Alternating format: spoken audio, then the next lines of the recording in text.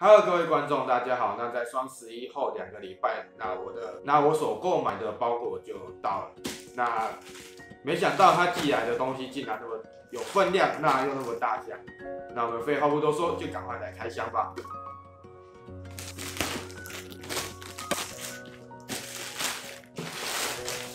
哦，那它这个扩大机是有够大的。那东西先放旁边。要从哪里开的？从这里。哎呀，那打开后就是这么大。那它下面还有一个操作说明那这是用来转接我的线用。那备用保险丝跟螺丝。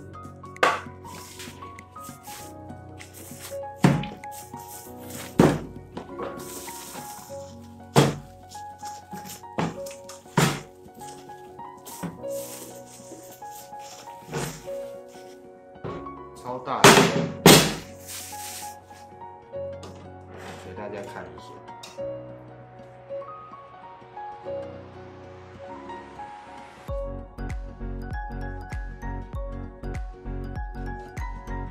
啊，我买这个就是它的电源供应器。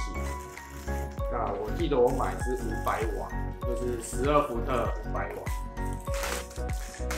那就带进轻松就把它。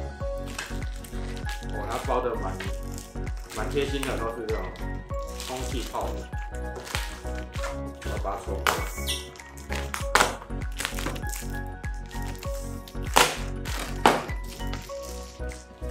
等我一下，这个太厚实。那它这个电源供应器也蛮重的，小小一个。大致上，它这个就长这个样子。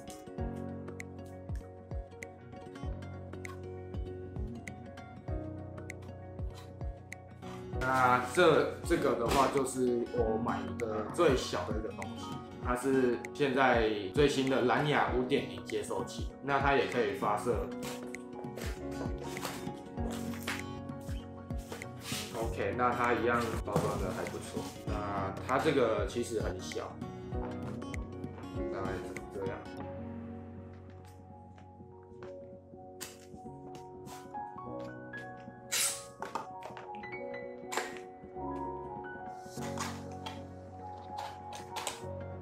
小小的一个，好小，而且这个重量很轻，而且它有很多个，它有很多个按键可以，就是可以做功能的切换。